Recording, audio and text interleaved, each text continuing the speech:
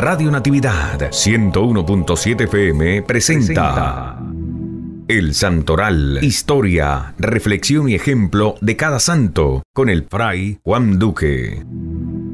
Hoy es 16 de junio y la iglesia recuerda a los santos Quirico y Julita, ambos mártires.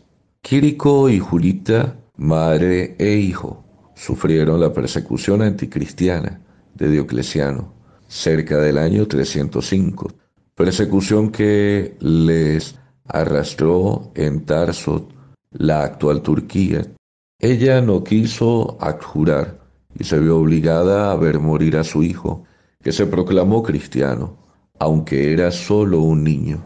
Por eso es uno de los mártires más jóvenes que podemos conocer en toda la iglesia. Pidámosle al buen Dios que por intercesión de Quirico y Julita, muchos de nuestros hombres y mujeres sean héroes de la fe en el tiempo presente.